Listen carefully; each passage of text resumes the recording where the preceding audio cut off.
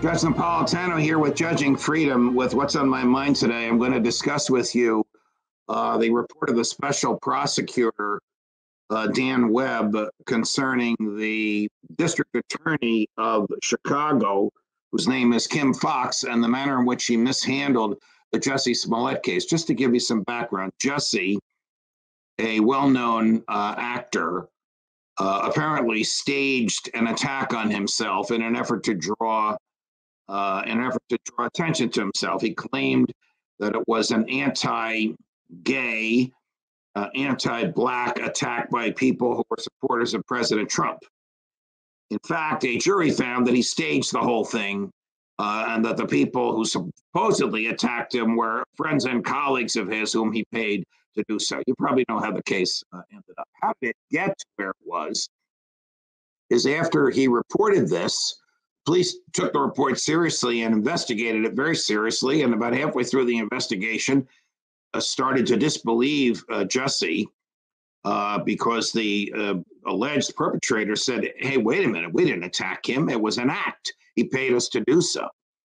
Uh, this information was brought to Kim Foxx, the prosecutor for Cook County, which is the which is the city of Chicago. And she at first decided that Jesse should not be prosecuted. And then when it turned out that a lot of Jussie's supporters had given money to her campaign, she took a step back.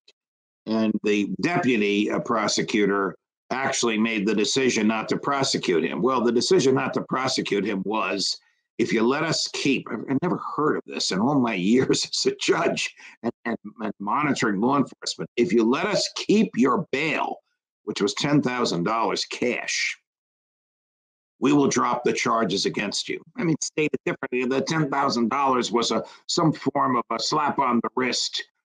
Um, for what?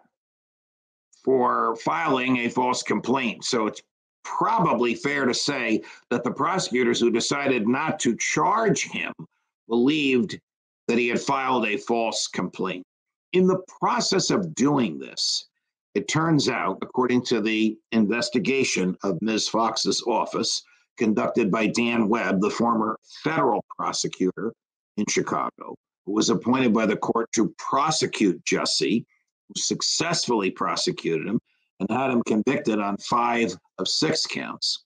According to Mr. Webb's investigation, Kim Foxx, instead of working, this is almost unbelievable, instead of working with her uh, prosecutors was working with Jesse's defense lawyers to concoct a way to get him out of it. So she really had what we call unclean hands. I don't think she committed a crime, but she may very well have violated legal ethics, which just don't countenance things like that. Now she's up for reelection next year. Who knows if the good people of Chicago will give her another term uh, in that job, but it, looks very bad uh, for her now. Jussie was convicted on five of six counts. He could go to jail for three years. I don't think he will because he doesn't have a prior uh, criminal record. And the charges were relatively low level, and they indicate that with no priors, you should not go to jail. But I'm not the judge in that case, and I don't know what uh, that judge will do. So I do these pop ups about two or three times a day whenever there is significant news uh, in the legal world. If you like them, tell your friends. If you like them, subscribe to Judging Freedom. If you like them, subscribe to the notifications on Judging Freedom, and you'll know when these uh, pop ups are coming. Enjoy the rest of the day.